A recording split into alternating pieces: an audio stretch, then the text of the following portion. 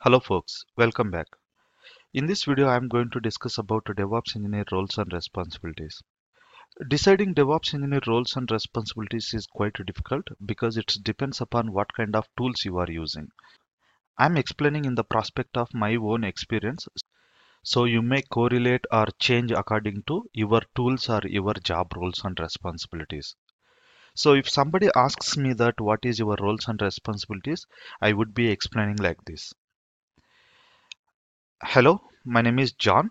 I have 4 plus years of experience in IT industry and around 3 years of experience in DevOps and AWS. Currently, I am working in XYZ organization as a DevOps engineer. As part of my roles, I am responsible to set up and manage DevOps CI/CD pipelines.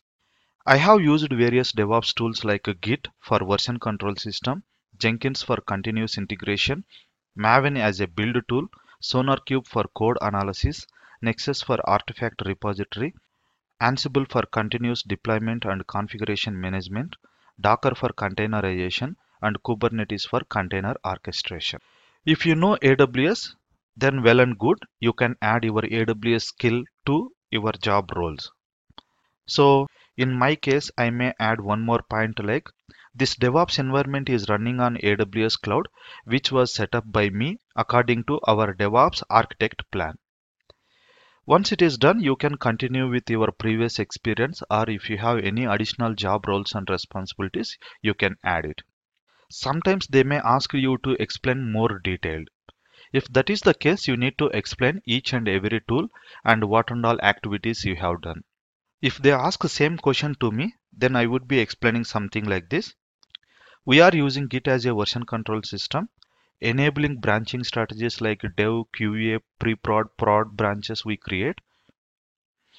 Managing Git repositories using various Git commands like push, pull, merge, clone, branch, rebase, and a few other commands. Managing Git user access, nothing but giving access to specific repositories or specific branches to secure your code. These are the high level activities which you can do in Git. Next, Jenkins we are using to create our CI/CD jobs.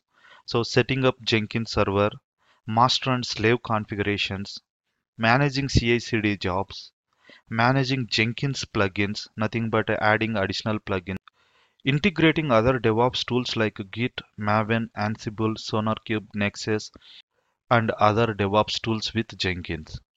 These are the major activities which we can do in Jenkins. Next, come to Ansible. Setting up the Ansible control server, nothing but master. Writing playbooks and roles. Managing Ansible hosts. These are the activities we can do majorly on Ansible. Next, come to Docker. Setting up Docker environment. Writing Docker files. Creating custom images. Setting up private Docker repository in your environment creating and managing containers. These are the activities we can do in the Docker. And comes to Kubernetes, setting up Kubernetes environment on AWS or on premises. If you know how to set up Kubernetes on AWS, you can add that. Otherwise, you can just say on premises. Writing deployment files and service files. Managing containers on pods. Managing Kubernetes nodes. So these are the activities we can say under Kubernetes. This is according to my current job roles and responsibilities. In your case, you might be using some other DevOps tools or some other way of handling. You need to make a note of the activities, what do you do, and you can tell them detailedly if they ask.